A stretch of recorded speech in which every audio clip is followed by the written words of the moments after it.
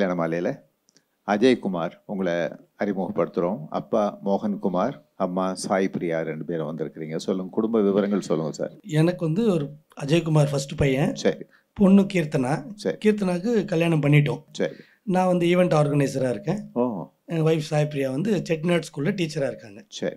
நாங்கள் தெலுங்கு ஜங்கம். சரி. எங்கள் ஹிந்து கேஸ்ட் நோ பார் சரி. ஹிந்துவாக இருந்த போதும். வரக்கூடிய ஒரு மருமக வந்து ரொம்ப லவ்விங் கேரிங் அண்ட் ரெஸ்பான்சிபிளாக இருக்கணும். சரிம்மா. ஒரு டிகிரி படிச்சிருக்கணும் கட்டாயமாக சரி. ஜாபுக்கு போகணும். ஓகே சொல்லுங்க. அஜய்குமார் என்ன படிச்சிருக்கிறீங்க? என்ன பண்ணிட்டு இருக்கிறீங்க நான் பிபிஏ படிச்சிருக்கேன் சார் இப்போ எம்பிஏ பண்ணிகிட்ருக்கேன் சரி. பிஎஸ்என்எல் சிஎஸ்சி வந்து ஃப்ரான்ச்சைஸி எடுத்திருக்கோம். டிநகர் அண்ட் மயிலாப்பூர் மயிலாப்பூர் சரி. ஒய்ஃப் எப்படி வேணும்? ஒரு டிகிரி படிச்சிருக்கணும். நல்ல பெண் டிகிரி படித்து உங்கள் குடும்பத்துக்கு நல்ல இயல்பாக இருக்கிற மாதிரி ஒரு நல்ல பெண் வந்து கல்யாண மாலை மூலமாக உடனடியாக வந்து அமையணும்னு மனப்பூர்வமாக வாழ்த்துறேன். நல்ல மருமகள் வருவாங்கம்மா. Thank you, sir. வாழ்த்துக்கள் நன்றி வணக்கம். நன்றி. அஜய்குமார் வயது இருபத்தி ஒன்பது. பிபிஏ முடித்தவர். பிஎஸ்என்எல் பிரான்ச்சைசியாக டி நகரில் பணிபுரிபவர். இவர் பணிக்கு செல்லும் பட்டதாரி மணமகளை எதிர்பார்க்கிறார். அஜய்குமார் பற்றிய விரிவான விவரங்கள் கல்யாணமாலை டாட் காம் வெப்தளத்தில் இவரது பதிவு எண் nine four zero nine double zero. மேலும் விவரங்களுக்கு zero double four two four three four one four double zero கல்யாண மாலையில் ஸ்ரீனிவாசன் இவரை அறிமுகப்படுத்துகிறோம். வயது இருபத்தி ஏழு. கல்யாணமாலை டாட் காமில் இவரது பதிவு எண் nine three one zero four six. BE பண்ணியிருக்கிறாரு பெங்களூரில்.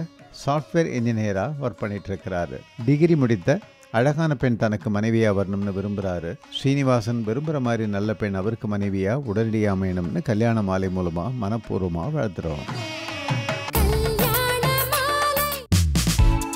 கல்யாண மாலையின் எக்ஸ்க்ளூசிவ் மேட்ரிமோனி பிரத்யேகமான மற்றும் பாதுகாப்பான சேவை.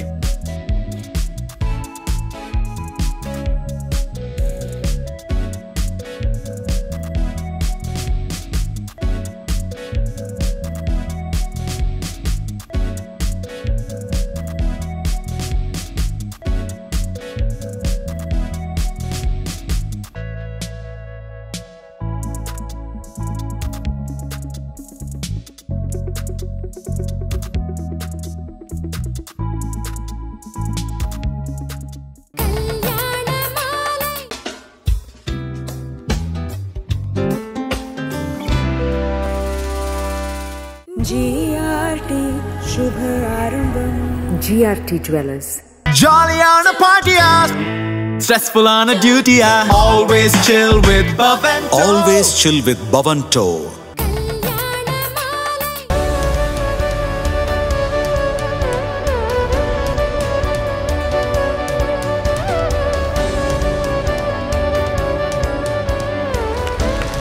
கல்யாண Malai Chennai wedding and beyond சிறப்பு நிகழ்ச்சியில் அவசரமாய் அவசியமாய் பேச்சரங்கில் வாழ்வை அறிதல் பற்றி தொடர்கிறார் திரு. சுஜித் குமார். ரொம்ப சிம்பிளாக சொன்னால் அந்த ஃபோர் பர்னர்ஸ் தேரின்னு ஒன்று இருக்குதுங்க. இது ரொம்ப பெரிய விஷயம்லாம் இல்லை. நம்ம வீட்டில் எல்லார் வீட்லையும் கேஸ் ஸ்டவ் இருக்கும். அந்த கேஸ் ஸ்டவோட நாலு பர்னர் இருக்கும். அதை லைஃப்பில் இம்ப்ளிமெண்ட் பண்ணிங்கன்னா அந்த நாலு பர்னர் நாலு விஷயமா. ஒன்று ஹெல்த்து ரெண்டாவது ஒர்க்கு மூணாவது ஃப்ரெண்ட்ஸு நாலாவது ஃபேமிலி இதுதான் லைஃப் அப்படின்றாங்க. இப்போ அஞ்சாவது பர்னர் ஒன்று இருக்குது சோஷியல் மீடியா அது ஃபேஸ்புக் ட்விட்டரு இன்ஸ்டாகிராம் அது இல்லைன்னா வாழ்க்கையே இல்லைன்னு நினச்சிட்டு இருக்கோம் நம்ம. இப்போ லைஃப்பில் சக்ஸஸ்ஃபுல்லாக இருக்கணும் வாழ்க்கையை புரியணும்னா அந்த நாலு பர்னரையும் பேலன்ஸ் பண்ண தெரியணுன்றாங்க ஆனால் உண்மையில் அந்த நாலு பர்னரையும் பேலன்ஸ் பண்ணவே முடியாது. லைஃப்பில் பயங்கர சக்ஸஸ்ஃபுல்லாக இருந்தவங்க இதில் ஏதாவது ஒன்று ரெண்டு பர்னரை விட்டுருப்பாங்க. கண்டிப்பாக விட்டுருப்பாங்க. சில பேர் என்ன பண்ணுவாங்க யங் ஏஜில் இல்லை இந்த ஒர்க்குக்கான பர்னர் வந்து அதிகமாக எரியும் ஹெல்த்து கொஞ்சம் கம்மியாக இருக்கும். ஃபேமிலிக்கு டைம் கம்மியாக கொடுப்போம் ஃப்ரெண்ட்ஸு கொடுப்போம். சரி உதாரணத்துக்கு ஃபேமிலி ஃப்ரெண்ட்ஸையும் கம்பைன் பண்ணிக்கலாம். அப்படின்னாலும் health will always take a toss நாற்பது வயசுக்கு மேலே தான் நம்ம வந்து ஹெல்த்தை பற்றி யோசிப்போம். அப்போ என்ன சொல்லணும் வேலை வேலை வேலை. இதை தவிர வேறு எதுவுமே தெரியாது. இந்த விட் இந்த ஒர்க் ஃப்ரம் ஹோம் நடக்கிற இந்த ஒரு ஒரு கொடுமையான விஷயத்தில் என்னென்னா வீடு எது வேலை எதுன்னு தாண்டி போயாச்சு. மேனேஜர் எத்தனை மணிக்கு எந்திரிச்சு வேலை செய்கிறாரோ நம்ம எந்திரிச்சு வேலை செய்கிறோம் பன்னெண்டு மணிக்கு அவர் மெயில் அனுப்பிச்சா நம்ம உடனே ரிப்ளை அனுப்புகிறோம் அப்போ எல்லாமே மேனேஜர் டிபெண்ட்டாக இருக்குது ஒர்க் லைஃப் பேலன்ஸ்ன்றது எதுவுமே கிடையாது. அப்போ இந்த பேலன்ஸே இல்லாமல் போகும்போது வாழ்க்கை ரொம்ப ரொம்ப கொடுமையாயிருது அப்போது வேலைன்றது ஒரு பார்ட் ஆஃப் அவர் லைஃப் தானே. அதை அங்கேயே விட்டுற முடியுமா அப்படின்னா கண்டிப்பாக முடியும். இப்போ என்னோடய எக்ஸாம்பிள் எடுத்துக்கோங்க. மண்டே டு ஃப்ரைடே நான் ஒரு கம்பெனியில் வேலை செய்கிறேன் ஃப்ரைடேக்கு அப்புறம் என் பாஸ் கிட்ட சொல்லியிருக்கேன் நீ தலையே போகிற வேலையாக இருந்தாலும் சனிக்கிழமை ஞாயிற்றுக்கிழமை என் மெயிலை செக் பண்ண மாட்டேன். இப்போ சொல்ல முடியும் இருபது இருபத்தோரு வருஷம் வேலை செஞ்சதுனால. ஏன்னா என் ஃபவுண்டேஷன் ஒர்க் தான் பார்ப்பேன். அப்படி ஒரு எமர்ஜென்சியாக இருந்தால் நாளைக்கு ரோட்டில் யாரோ அடிபட்டாங்க. இப்போ ஹெச்ஆரில் இருக்கிறனால எனக்கு நிறைய எமர்ஜென்சிஸ் வரும். ம்? ரோட்டில் ஒரு எமர்ஜென்சி இருக்குன்னா உங்களுக்கு யாரும் மெயில் போட மாட்டாங்க. ஃபஸ்ட்டு என்ன பண்ணுவாங்க? ஃபோன் எடுத்து கால் பண்ணுவாங்க. அப்போ எமர்ஜென்சி அட்டன் பண்ணிக்கலாம். நம்மளில் பல பேர் என்ன நினச்சிக்கிறோம்? நான் இல்லைன்னா என் ஆஃபீஸே இல்லைன்னு நினச்சிக்கிறோம். நான் இல்லைன்னா இந்த கம்பெனி என்ன ஆகும்? நான் தான் பிடிச்சிட்டு நிற்கிறேன் அப்படி யாராவது நினச்சிங்கன்னா இங்கே நான் கை தூக்க சொல்ல போகிறதில்ல தயவு செஞ்சு இன்றைக்கி வீட்டில் போய் இந்த எக்ஸசைஸ் பண்ணி பாருங்கள் இன்றைக்கி வீட்டுக்கு போங்க. பாத்ரூமில் ஒரு பக்கெட் ஃபுல்லாக தண்ணியை நிரப்பிக்கோங்க. பக்கெட் ஃபுல்லாக இந்த ப்ரிம் வரைக்கும் நிரப்பிட்டு ஒரு டேபிளில் எடுத்து வச்சுட்டு என்ன மாதிரி சட்டையை இப்படி மடிச்சிருங்க. மடிச்சுட்டு இதுக்கப்புறம் இவ்வளோ தூரத்தை எடுத்து ஓங்கி ஒரே குத்து அந்த தண்ணிக்குள்ளே பக்கெட்டுக்குள்ளே அப்படி விட்டுருங்க. இது வரைக்கும் தண்ணி இருக்கணும். ஒன் டூ த்ரீ அப்படின்னு சொல்லி அந்த கை எடுக்கிறீங்க வெளியில். கை எடுத்த உடனே மோசஸ் எப்படி அந்த ரெட்டு சீயை வந்து ரெண்டாக பொழந்தாரோ அது மாதிரி உங்களுக்கு தண்ணிக்கு நடுவில் ஒரு ஓட்டை இருந்து அந்த ஓட்டை அப்படியே இருந்துச்சுன்னா உங்களை உங்கள் கம்பெனி ரொம்ப மிஸ் பண்ணுவாங்க. கையை எடுத்த உடனே கொஞ்சம் சலசலப்பு. அப்படி ஒரு ரெண்டு மூணு செகண்டு அப்புறம் தண்ணி அப்படியே நின்றோம். நின்றுச்சுன்னா செல்லக்குட்டிங்களா அவ்வளோ நேரம் தான் நம்மளை அந்த கம்பெனி மிஸ் பண்ணும். உன்னை தூக்கி போட்டு அடுத்த ஆள் அங்கே ரெட்டியாக இருக்கிறான்.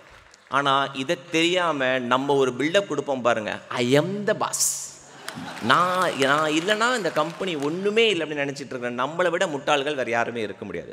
அப்போ டூ வாட் யூ லவ் அப்படின்னா நம்ம எக்கச்சக்கமான எக்ஸாம்பிள் கொடுக்கலாம். நம்ம எல்லாருமே சொல்லுவோமே யாருக்கெல்லாம் அவங்களோட ஹாபிஸ் அவங்களுடைய ப்ரொஃபஷனாக இருக்கா அவங்களாம் பயங்கர லக்கினுவோம் நம்ம கொடுக்குற எக்ஸாம்பிள்லாம் பாருங்கள் சச்சின் டெண்டுல்கர் கொடுப்போம் இளையராஜாவை கொடுப்போம் ஏஆர் ரமானை கொடுப்போம். இளையராஜா சார் எண்பது வயசில் கான்சர்ட் நடத்துகிறாரு இவங்க மட்டும் அவங்க அவங்க அவங்க அவங்க செய்கிற வேலையை பிடிச்ச வேலையை செய்யலை. நான் ஒரு சிம்பிள் உதாரணம் சொல்கிறேன் நான் ஈசிஆரில் இருக்கிறேன் ஈஸ்ட் கோஸ்ட் ரோட்டில் அங்கே ஒரு ஒரு சலூனில் போய் முடி வெட்ட போவேன் நான். நான் முடி வெட்ட போகிற அந்த சலூன் முக்கியம் கிடையாது. அங்கே முடி வெட்டுற ஹேர் ஸ்டைலிஸ்ட் தான் முக்கியம். நான் முடி வெட்டுற இடத்துலேருந்து எனக்கு ஒரு கால் வருது. என்னது ரிமைண்டர் கால் சார் நீங்கள் இருபத்தெட்டு நாளைக்கு ஒரு முறை முடி வெட்டுறீங்க. இன்றைக்கி இருபத்தோரு நாள் தான் ஆச்சு. நான் அடுத்த பதினஞ்சு நாள் நான் லீவில் போகிறேன் அதனால் நீங்கள் வரும்போது நான் இருக்க மாட்டேன். என் ஃப்ரெண்டு தான் இருப்பார். அது ஓகேனா நீங்கள் அவர்கிட்ட வெட்டிக்கோங்க. ஆனால் முடிஞ்சால் உங்களுக்கு அடுத்த ரெண்டு நாளில் நீங்கள் வந்தீங்கன்னா நானே உங்களுக்கு ஹேர் ஸ்டைல் பண்ணி விடுறேன்னாரு. இப்போ இது எவ்வளோ ஒரு ஆச்சரியமான விஷயம். நம்ம முடி வெட்டுற கடையிலேருந்து ரிமைண்டர் வருது நம்மளுக்கு. அதுவும் அவன் சொல்கிறான் இருபத்தெட்டு நாளைக்கு ஒரு வாட்டி முடி வெட்டுறான்றான். எனக்கு ஆச்சரியமாச்சு நானே வரேன்ப்பா அப்படின்னு போனேன். என்னோட ஹேர் ஸ்டைலிஸ்ட் பேர் பிரதீப். பிரதீப் வந்து ஒரு சாதாரண ஹேர் ஸ்டைலிஸ்ட் கிடையாதுங்க. அவர் வந்து ஒரு சிற்பி மாதிரி அவர். அவர் வந்து எப்படின்னா அந்த கை உள்ளே போகிறதும் தெரியாது வெளியில் வர்றதும் தெரியாது அப்படின்னு ஒரு சிஸ்டரை பயங்கரமாக ஸ்டைலிஷாக முடி வெட்டுவார். பேச்சு கொடுத்துக்கிட்டே இருப்பார் என்கிட்ட. அப்போது என்கிட்ட முடி வெட்டிட்டு கண்ணாடியை பார்த்து தான் பேசிகிட்டே இருப்பார். நான் என்ன பண்ணேன் அன்றைக்கி என்னடா இவர் தான் நம்மளை கேள்வி கேட்டுகிட்டே இருக்காருன்னு சொல்லி நான் பிரதீப் கிட்ட ஒரு கேள்வி கேட்டேன். பிரதீப் நீங்கள் என்ன படிச்சிருக்கீங்க? எப்படி இந்த வேலைக்கு வந்தீங்க அப்படின்னு. முடி வெட்டிட்டே சொன்னார் சார் நான் லாயலில் பிஎஸ்சி ஃபிசிக்ஸ் படிச்சிருக்கேன் சார் அப்படின்னாரு. எனக்கு ஒரு நிமிஷம் நிறுத்து நிறுத்து நிறுத்து. ஏன்னா ஆயிரத்தி தொள்ளாயிரத்தி தொண்ணூற்றி நாலில் அந்த கோர்ஸ் நான் கேட்டேன். எனக்கு அந்த ஃபாதர் பிரின்சிபல் கொடுக்க மாட்டேன்ட்டார். உன் மார்க்கு கம்மின்னு. ஃபிசிக்ஸா அது ப்ரீமியர் கோர்ஸ் ஆச்சு. அதை படிச்சுட்டு நீ ஏன்ப்பா இந்த வேலைக்கு வந்தேன்னு கேட்டேன் நான். அவனுக்கு கோவம் வந்துருச்சு. டக்குன்னு க சிசரை வச்சுட்டு முன்னாடி வந்து நின்றான். ஏன் சார் இந்த வேலைக்கு என்ன சார் அப்படின்னா ஐயோ வேலைக்கு தப்பு சொல்லலை பிரதீப். நீங்கள் பிஎஸ்சி ஃபிசிக்ஸ் படிச்சுட்டு எப்படி இந்த ஹேர் ஸ்டைலிஸ்ட்டுக்கு வந்தீங்க? அப்படின்னு. நீங்கள் நாள் எங்களை மாதிரி ஒரு ஐடி கம்பெனிக்கு வந்திருக்கலாமே. நம்மளுக்கு எல்லாரும் ஐடி கம்பெனிலாம் சேர்த்து விடணும்னு ஆசை. எங்களை மாதிரி ஒரு ஐடி கம்பெனிக்கு வந்திருக்கலாமே அப்படின்னு. அவன் அந்த கண்ணாடியில் நின்றுட்டு என்கிட்ட இப்படி பார்த்து கேட்குறான் சார் ஒரு ஃப்ரெஷருக்கு நீங்கள் எவ்வளோ சார் சம்பளம் தருவீங்க? நான் சொன்ன ஒரு நாலு நாலே கால் லட்ச ரூபா தருவோம். ஒரு அஞ்சு வருஷம் ஒர்க் எக்ஸ்பீரியன்ஸ் இருந்தால் எவ்வளோ சார் கொடுப்பீங்க? அறுபதாயிரம் எழுபதாயிரம் ரூபா கொடுப்போம் நல்ல வேலை செஞ்சா. அப்போ என்னை பார்த்து சொன்னான் சார் நான் இங்கே எழுபதாயிரம் ரூபா சம்பளம் வாங்குறேன் சார். என் டிப்ஸ் இதெல்லாம் சேர்த்து எனக்கு மாதம் ஒரு லட்சத்தி இருபதுலேருந்து ஒரு லட்சத்தி முப்பதாயிரரூவா நான் சம்பாதிக்கிறேன் இங்கே. நான் ஏன் சார் அந்த வேலைக்கு வரணும் அப்படின்னா ஃபஸ்ட்டு அப்போ நான் கேட்டேன் டேய் சம்பளத்தினால கிடையாது. உனக்கு ஏன் இந்த வேலை பிடிக்கும் நான் ஒரே ஒரு வார்த்தை தான் சொன்னான். Sir I am in the job of beautifying people நான் முடிவெட்டில். அடுத்தவர்களை அழகுபடுத்தும் வேலையில் இருக்கிறேன். இப்போ சொல்கிறாரு சார் முப்பது வயசு இருக்கும் சார் அவருக்கு கல்யாணம் இருக்கும் சார் இங்கே சொட்டை விழுந்துருக்கும் சார் அவருக்கு அந்த முடியை எப்படி பண்ணணும்னு தெரியாது. நான் ஹேர் ஸ்டைல் பண்ணி விடுவேன் சார் அவ்வளோ சந்தோஷமாக போவார் சார் இதோ அங்கே உட்காந்துருக்காங்க பாருங்கள் உங்களுக்கு முன்னாடி அந்த பொண்ணுக்கு நான் தான் சார் இப்போ ஹேர் ஸ்டைல் பண்ணி விட்டேன். எத்தனை செல்ஃபி எடுக்கிறாங்க பாருங்கள் சார் அவங்க. வெட்டிங்க்கு அவங்க வரதை தே தே கமன் சிட் வித் மீ அப்போ அவன் சொன்ன விஷயம் I am the job of beautifying people அப்படின்றாரு. விசிட்டிங் கார்டு கொடுத்தாரு. அவருடைய டெசிக்னேஷன் என்ன தெரியுங்களா?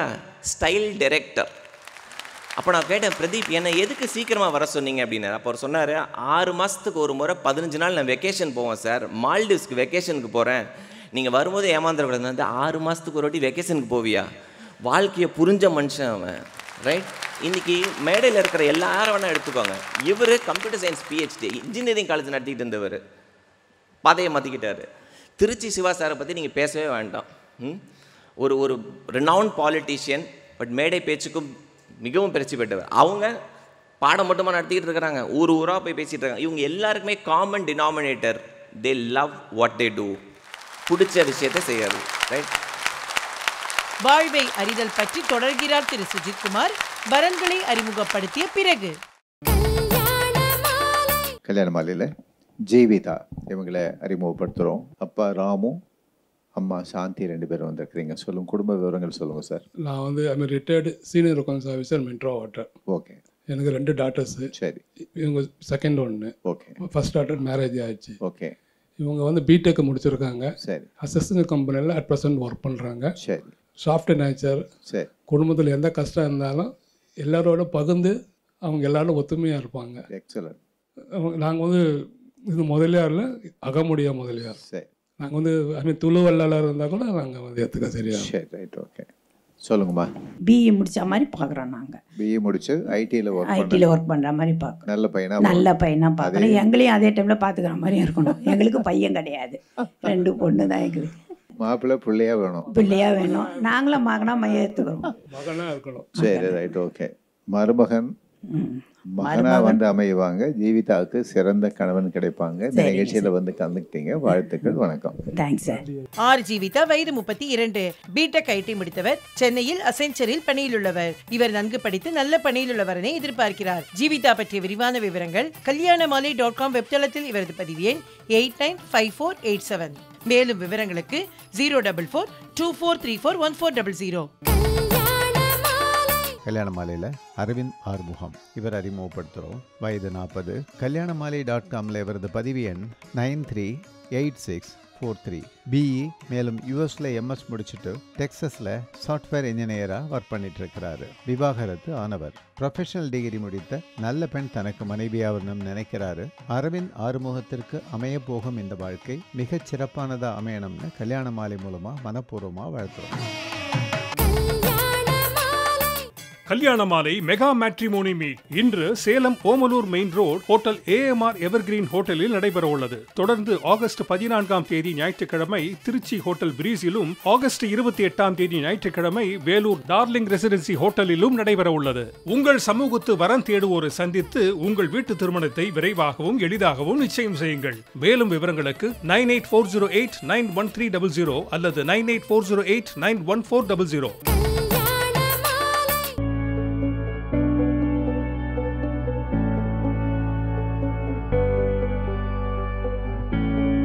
Aachi அதிரசமா விடுங்க. கையில தட்டி சூடான எண்ணெயில பொரிச்சா அதிரசம் ரெடி ஆச்சி உடனடி அதிரச மாவு.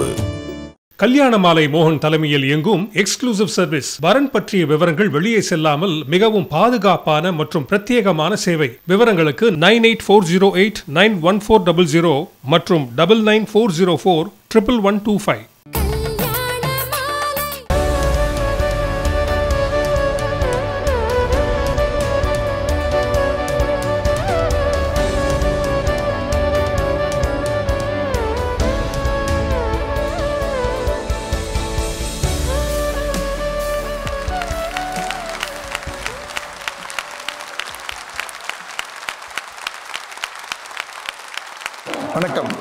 மாலையின் வெட்டிங் அண்ட் பியாண்ட் நிகழ்ச்சி. இதில் வந்து நாங்கள் பங்கேற்கின்றது ஒரு ஒரு பக்கம் எங்களுக்கு மகிழ்ச்சி.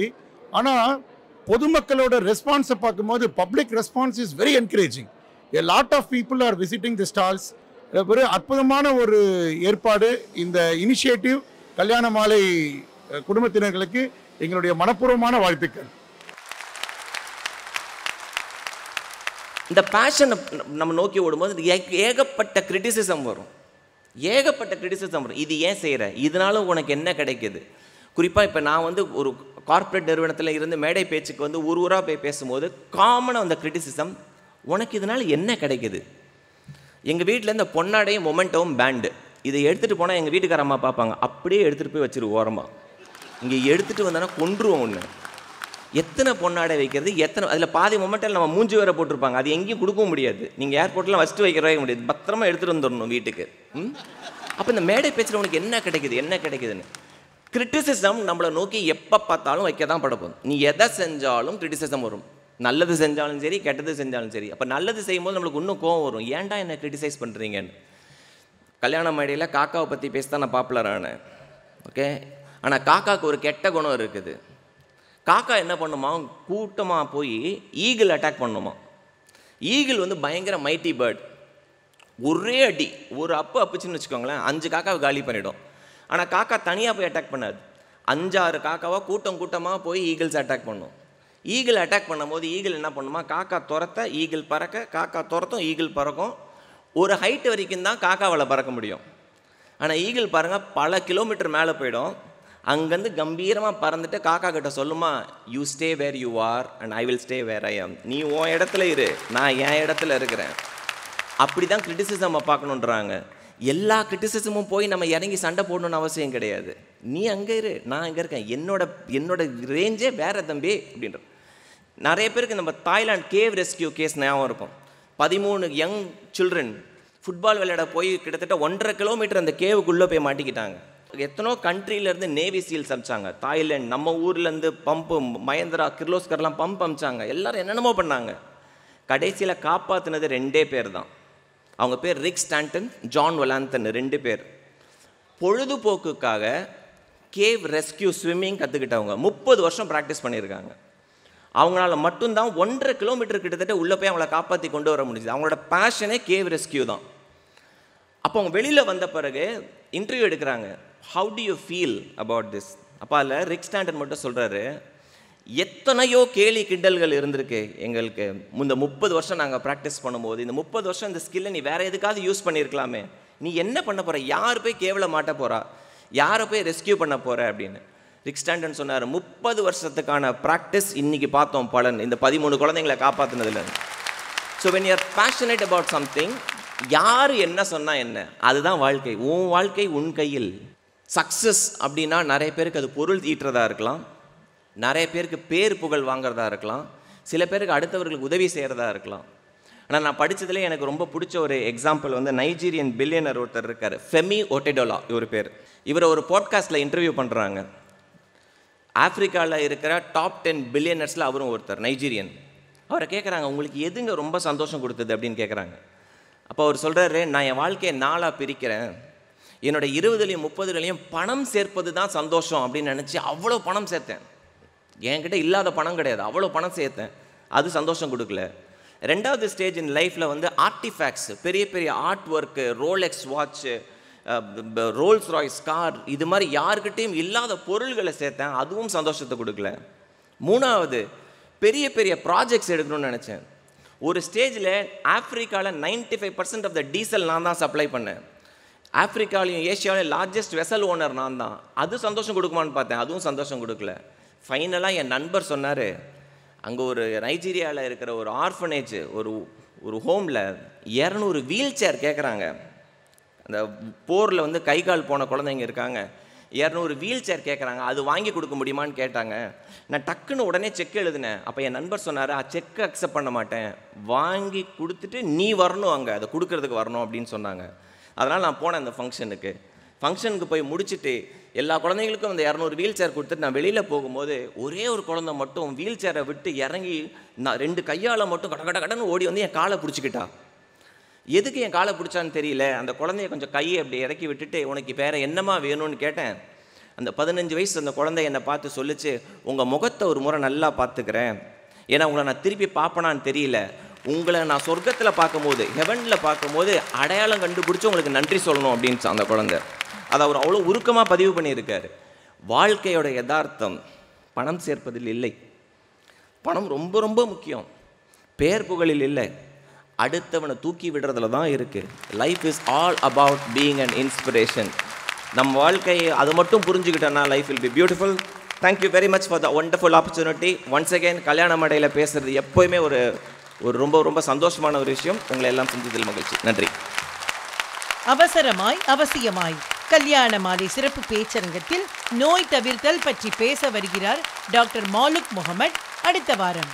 என்னால் அந்த நாலு வருஷம் ஆராய்ச்சியில் இதில் இருக்கிறவங்களை எவ்வளோ பேர் டயபெட்டிஸ்னால இப்போ பார்த்து சொல்ல முடியும். I am not joking that's a truth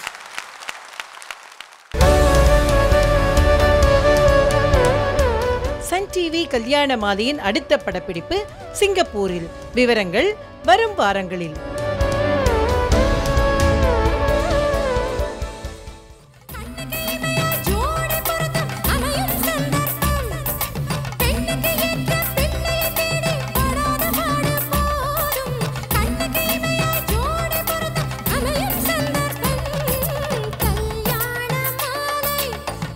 உங்கள் வீட்டு வரனுக்கு மிகச் சிறப்பான இல்வாழ்க்கை துணை அமைய பதிவு செய்து கொள்ளுங்கள். Kalyanamalai dot com